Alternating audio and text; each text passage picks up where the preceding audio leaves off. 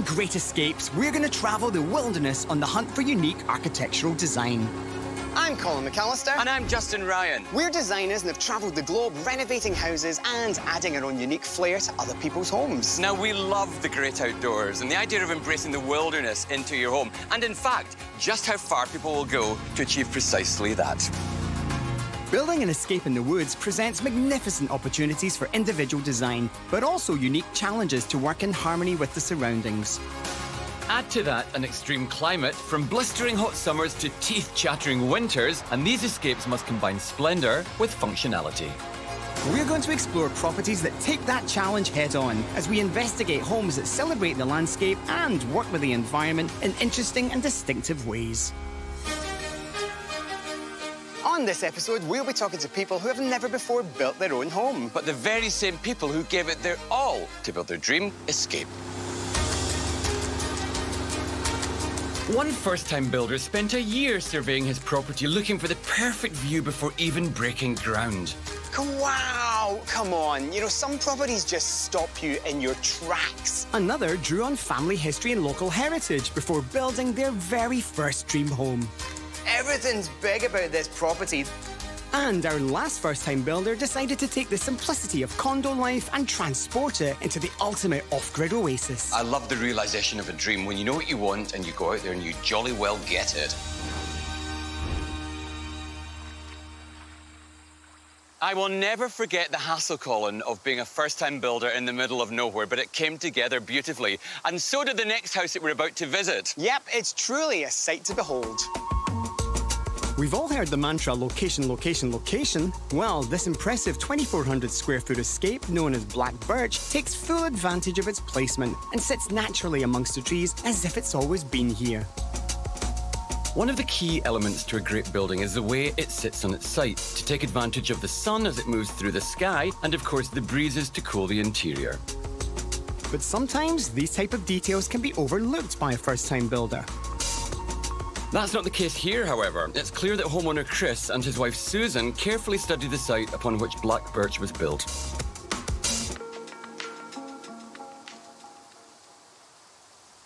Wow. What a- Wow. Well, I know why it's called Black Birch. Yeah. Hey, Chris, how are you Hey, doing? I'm doing well. How are you? I'm all the better for seeing this incredible place of yours. That mix of black exterior, the greenery, the water, the blue skies. I have died and gone to heaven. And this was your first build. Can I take you inside? I'd love a look. Great, let's do it. Windows are Chris's passion. He has spent his life building a custom glazing business, so it's no surprise that Black Birch would feature an impressive display of incredible windows. Oh, hey, Susan. Guys, Good to see Hiya. you. Good, to always good. Oh, wow. We'd standing outside, we were blown away, but coming inside and seeing this incredible volume, all the glass, all the black frameworks, and the furnishing detail. Oh, my goodness, off the charts. I think that's an interesting thing. This one piece will make 52 layers. Watch on mobile devices or the big screen. All for free. No subscription required. One of the things that strikes me immediately about this place is there isn't any drywalls, so it's significantly Yes. glass on all elevations. Chris, you, you are the window guy. I am the window guy. You are the window guy, so this is exactly what we'd expect. Almost 360 degrees. It really influences the architecture. How important to you when putting this design together was the landscape and representing aspects of what's out there inside? I would say it was very important. In fact, we spent a lot of time. We spent almost a year on the property before we started building, where we just come in here with a with a lunch during the afternoon and just sit in the wooded forest and, and and decide, you know, what view we wanted, what trees we wanted. The interesting point is, so much of the view was designed around the coffee machine. So when we were talking when we were talking about the view and we were talking about the perspective, that's our thing and that's what we do. How would this view look while standing and making a coffee? And all of a sudden, you're surrounded by the very, very best in nature. And that's actually my favorite window. We call that our snow globe window. And that, that's the window when you could be sitting in the kitchen and the snow's dropping or blowing off the trees and it literally looks like you're in a snow globe. Amazing. You know, it's amazing that you actually thought of that. And this is your first big build as a couple. Well, we had the luxury of time. So we weren't on a, on a time constraint where we had to move in here. We had tons of time to plan. There was nothing here initially, was there? Nothing. It was forest, dense forest, and we had to clear it all, and that was a huge, huge undertaking. I really love the open plan. Everywhere you look, there's something else glorious to look at. And there's never a moment where you're thinking, I'm bored seeing what I'm seeing. How important for you was the open plan aspect, Susan? Very, very important. We have a lot of family up on the lake and a lot of friends. Do you throw a lot of up. parties? Yes, I we can do. imagine. We do. We have great parties up here. So we wanted one big, huge open space where everyone can just mingle around and a great flow and um, very interactive. So yeah, that was very important to keep the space open. I think part of the planning was we really wanted two separate environments. The main living area is very bright, very open, and very tall, whereas when you go into the bedrooms, the bedrooms have a very different feel. The bedrooms are a little bit smaller, a little bit darker, and very quiet. So it's really and truly a retreat. One of the stunning architectural features of Black Birch is this incredible two story wall, a feature that divides the living area from the bedrooms. Now, not only is it gorgeous, but it's completely soundproof. One thing I'm noticing is I'm not seeing any air conditioning ducts anywhere. How are you cooling and how are you heating? In-floor heating. We also wanted to be really warm underfoot, so we wanted to be comfortable. Chris heats the house via radiant floor heating, which, although not a new system, is still somewhat rare. Radiant floor heating is a system that injects heat into the floor. The radiant floor heating is transferred to the floor through liquid in tubes.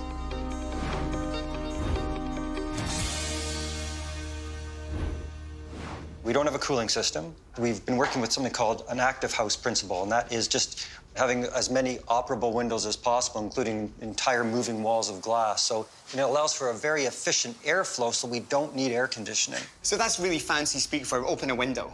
Pretty much. Yeah, okay. How do they actually work? Would you like me to show you? Yeah. Okay. It had to balance between as big as we can get, but not so big that we couldn't handle it. Wow. And they are just seamless. You know, that is so simple to do.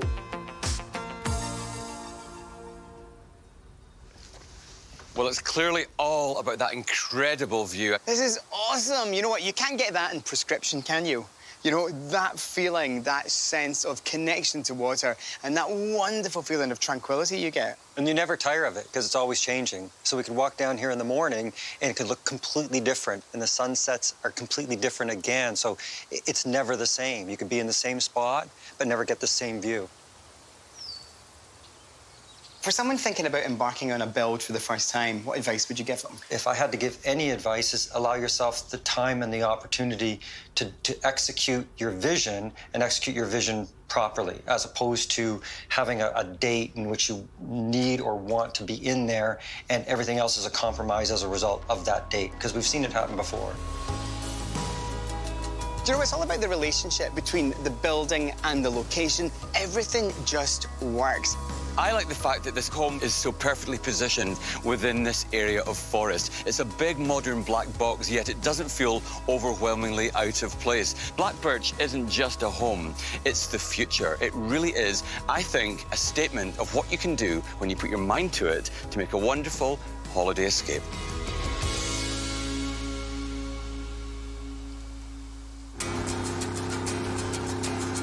It was the Roman engineer Vitruvius who wrote that the three principles of good architecture are durability, usefulness, and beauty.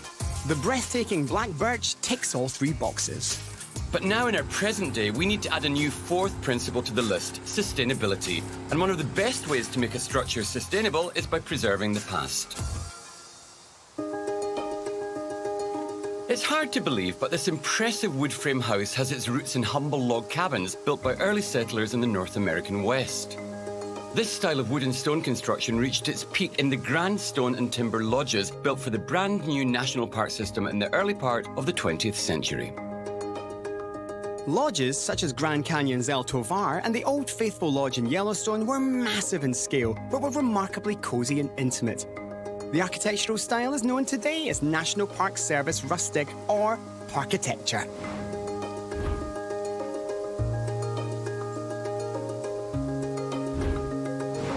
Okay, don't worry, Justin, it's not a prison. These walls used to be part of an old cooperage, and that, of course, is the place where they would make the barrels for whiskey and wine. Hmm, I wonder if they've got any whiskey left indoors. What do you reckon? I think we're going to find out. This massive wood framed house stands at 4,850 square feet and is the brainchild of couple Steve and Renee, who were attracted to the property because of the ruined remains of the old cooperage, which occupied the site from 1933 until the early 1950s.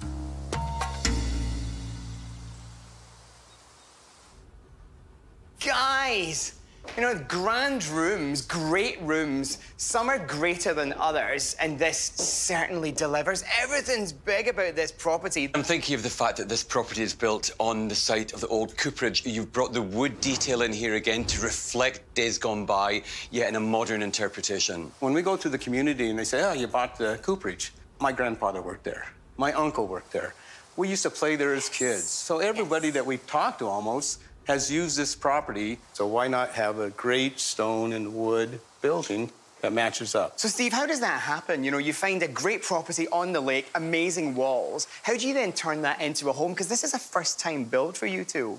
a lot of research, uh, mostly in the States, Wisconsin, Montana, Missouri, uh, Colorado in particular. And we visited, too, as well, a lot of log homes, and we looked yeah. at the kind of how they were set up, how the rooms flow. How tall is the ceiling? Because that's a uh, mammoth. It's 26 and a half feet. 26 and a half feet? Yeah. Well, how can you be so accurate? I was up there. Okay. yes, I did the staining and... Staining on that, yeah, yes. And put the beam up there yes. with some help. I, I love the size of it because you can get lost in it if you want. You can go in your own room and, and it's great. You got the media room where you can go watch the sports and if you want. And we, and we love the idea that friends and family can come and that we're not like on top of each other. We can spread out. You can be outside, you can be down at the fire pit, you can be out on the water, kayaking, canoeing. Yeah. So we love that. Steve, is it important for you to actually capture a sense of history in your home? Because this is essentially a new build property, but it's got a great sense of heritage about it. It was very important. My family was a logging family in Oregon.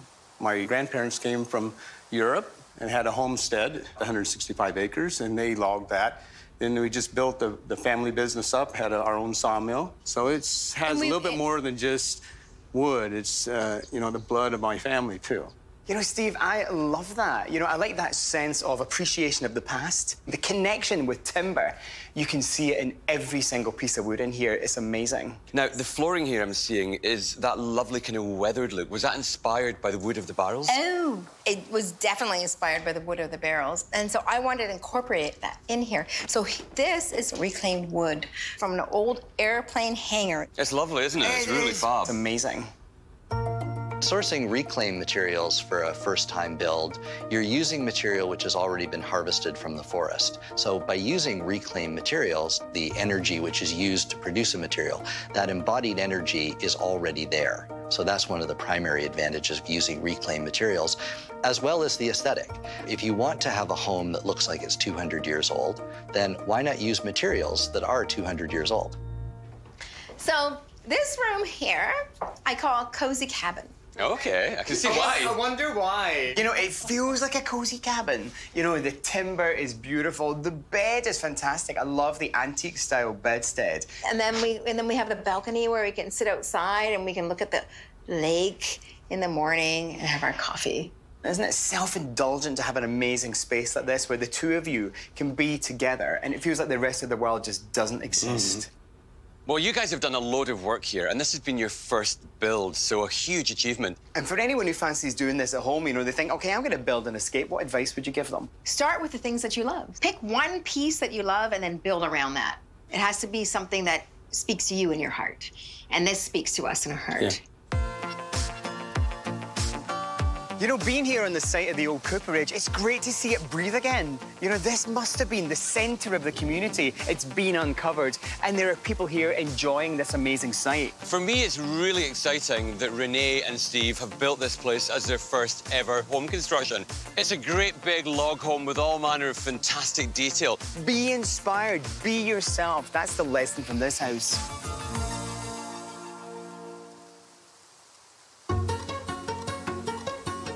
It's the job of the architect to turn their client's vision into reality, and it takes a skilled architect to bring a first-time homebuilder's dream to life. Black Birch is the perfect synthesis of client vision and architectural skill. The cooperage echoes the heritage of the site upon which it was built. But sometimes a builder's dream is so specific they decide to be their own architect. We love the simplicity of condo living, the clean, contemporary lifestyle, the feeling of a reduced amount of clutter. It's so de-stressing and makes for a way better life. Yeah, so why not bring that feeling into the country? Simon and Bram have lived all over Europe and North America, but decided to settle in the country to build their dream home because of Bram's childhood memories of attending camp in the area. When a large waterfront lot with a massive shoreline became available, they snapped it up. And Bram was off to the races, designing the off-grid home of their dreams. Simon, talk about the rough and the smooth, rugged landscape with super sleek building. What a space. Thank you. Do you want to come and have a look? I'd love to have a look inside. Oh, hello. you know, it really is exactly like a condo. It's like a slice of a tower block by the lake. That's the idea. We loved our condo in the city. We thought we'd create something just as livable out here. Well, you've clearly done that. I love the realization of a dream when you know what you want and you go out there and you jolly well get it. We tend to think of condos as a millennial phenomenon, but they actually have their roots in the German design and architectural movement from the 1920s known as Bauhaus. With their credo, form follows function, the mission of Bauhaus was to provide simple and functional spaces, based on a minimalist approach which features clean lines with bold and graphic colourways. There's a very contemporary feel to this. It feels really laid out and precise. For me, the great thing about this place is the fact that it is so simple. You know, you actually let the landscape speak to us. These black windows really frame the trees. The star of the show is the woods to us. You know, we don't need anything else really. We can just be here, enjoy the woods, enjoy the location. We love the clean lines of the windows, of the walls. We have space for our art. We even have our condo furniture in here because it seemed to fit in perfectly with what we, uh, what we had in the city. I like the fact that you've taken something that most people think is a negative, you know, because people complain about condos, don't they? Oh, they're too small. So they really do dictate to you that you have to pare back your lifestyle. And it seems that you've taken that as a positive and you've brought it here to this location. Well, in this house, we have everything we need and nothing we don't need. So we feel that we're using every single room in the house. So, we, you know, we feel we're really getting the most out of the house and also makes it easier to clean. Yeah, so you can actually enjoy this beautiful landscape without worrying about vacuuming. Oh, exactly. I could just sit there and look out the window and, and enjoy it. Now, in terms of your original plan, did you work with an architect or did you do the vision yourselves? We actually did the design ourselves. My partner Bram, he loves architecture, he loves design, so he sketched it out online, used some of this software, even put furniture in online, got it exactly how we want it, and then we sent it to an architectural drawer who drew up the plans together with an engineer. Nowadays, you know, with the software platforms that are, in fact, there's like freeware, there's all sorts of things that one can use to start to tinker with architectural space. If one is really interested in creating their own home, there's nothing to stop you from really going through gut instinct and looking at precedents that you like. Now that you see everything laid out, does it correspond to your vision? Almost perfectly, the way the light comes through, the way everything is, is great for entertaining with the kitchen here and the living room. It's, it's almost, I would say, exactly to our, to our vision. This is your first time build, but you've complicated that even further by deciding to go off grid. Yeah. How has that played out for you guys? It really made sense for us. We like the idea of being off grid, we like the independence of it.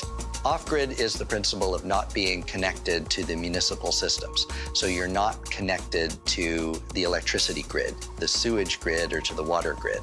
You are producing all the energy that you need, you're drawing the water that you need, and you're dealing with all your sewage waste on your property as well. When designing an off-grid space, the first-time builder needs to make sure that they keep it simple, so they have good air tightness and good insulation.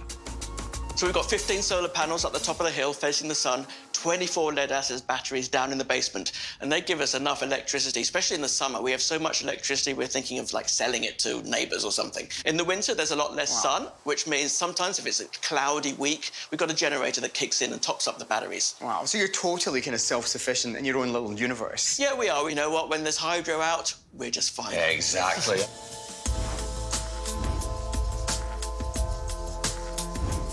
So it all sounds great, it all sounds really positive, but come on, be honest. You know, during this first time build, it's not like you're in the city, in the suburbs, you're in the middle of nowhere. That must have been really difficult. We're in the middle of nowhere and we're on a very steep hill. Yeah. So that was difficult. And then, you know, we're in the middle of winter building. It's not always easy. It's, sometimes it's hard to, to get in here. First of all, we had to sort out the drainage. All the water seems to want to come down right here where the house is and right down where the bunkie is. It's a very steep slope down to the lake. We have to climb that every day. So did our contractors have to climb all the way up and down like 15 times in a morning. You'd have legs like a mountain gazelle going up and down that particular precipice. One reason why we chose this lot is, is because it has 500 feet of waterfront and six acres. Six so acres? it is isolated. That kind of land is hard to find around here. And so, although it's a challenging lot with the hill, um, we chose to buy it. So you very successfully championed small-scale living. What is the actual square footage? So the actual house is 1,250 square foot plus 100 extra for the covered patio out there. So how many bedrooms do you have in here? We have two bedrooms, um, but we also have the bunkie. We decided to keep this house up here just for us because it's nice to have guests, but sometimes you want them to be a little bit distant. So that's why we've got a bunkie down by the lake for the guests.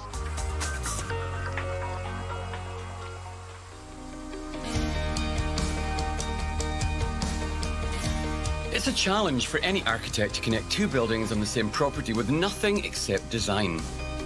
First time architects and builders Bram and Simon rose to the challenge of tying this bunkie to the main house. It functions as overflow space for guests and echoes the architecture with the same simplicity of design, the same exterior materials, and of course, floor to ceiling windows with a spectacular view.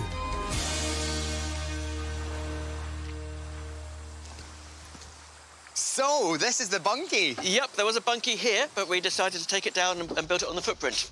Whoa.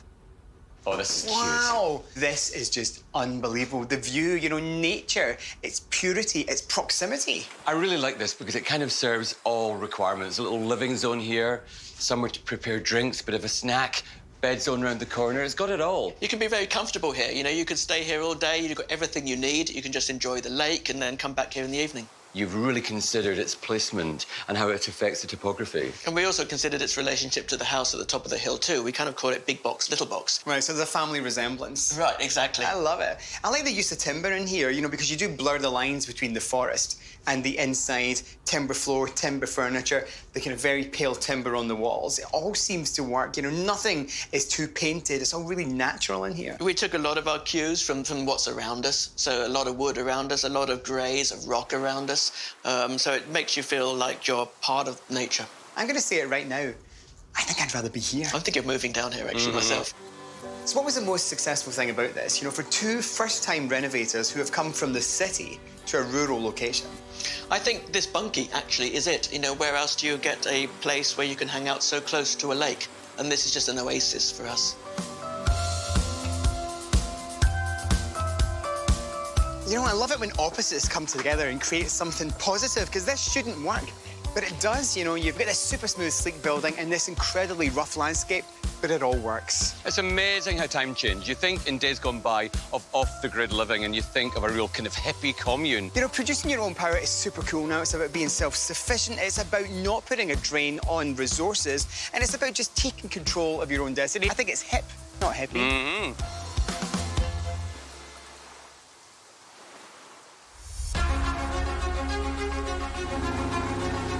they say that fortune favours the brave, and that certainly can be said for each of our home builders because they haven't made it easy for themselves by choosing a rural location for their first-time builds. But it's clear, to build a great escape, these elements are important. Careful study of the landscape and patient planning to hone your vision. Build on those things that inspire, a sense of heritage and personal history. Keep it simple and sustainable. Three brilliantly brave builders, three incredible first-time builds. I'm feeling inspired. Do you know, I feel really inspired as well because they're all so distinctly different. Yet I'll tell you something else they share in common. The fact that they're all great escapes.